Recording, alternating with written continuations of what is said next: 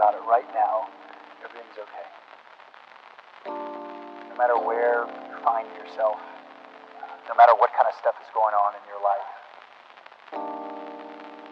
underneath it all, everything's actually all right.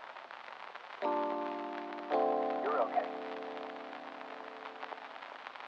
You have more power than you like to give yourself credit for. Maybe you something that's going on in your life right now that's